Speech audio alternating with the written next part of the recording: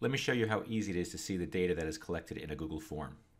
Launch the form, and then you will see that there are two tabs up on top, questions and responses. When you're making the form, you're going to use questions, but now we want to see the responses. You can see that there are five responses so far for this form.